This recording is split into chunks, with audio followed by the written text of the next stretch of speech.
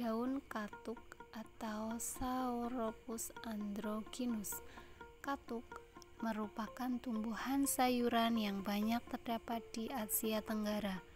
Di Indonesia, daun katuk digunakan untuk melancarkan air susu ibu atau ASI, obat borok, bisul, demam, dan darah kotor.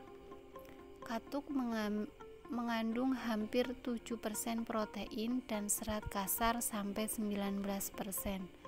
Daun ini kaya akan vitamin K, A, B, dan C.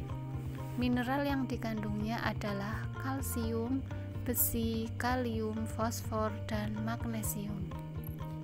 Warna daunnya hijau gelap karena kadar klorofil yang tinggi Klorofil membersihkan jaringan tubuh dan tempat pembuangan sisa limbah metabolisme, sekaligus mengatasi parasit, bakteri, dan virus yang ada dalam tubuh kita.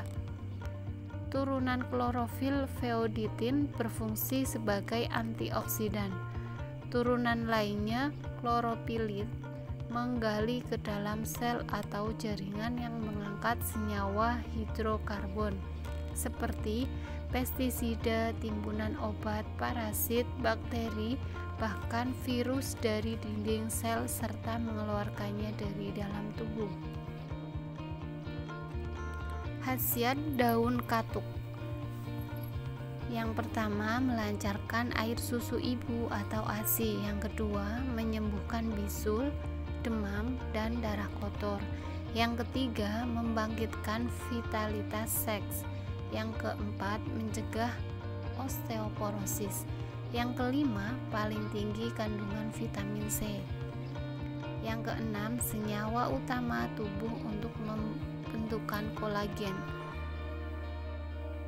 Protein berserat pembentuk jaringan ikat pada tulang, pengangkut lemak, pengangkut elektron, pemacu gusi yang sehat, pengatur tingkat kolesterol, serta pemacu imunitas.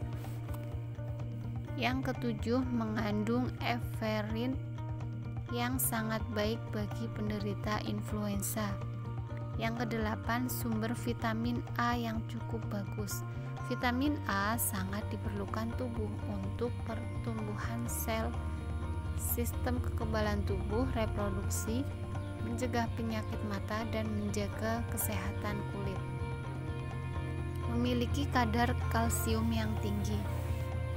Yang ke-10, kaya senyawa yang dapat meningkatkan mutu dan jumlah sperma serta membangkitkan vitalitas seksual.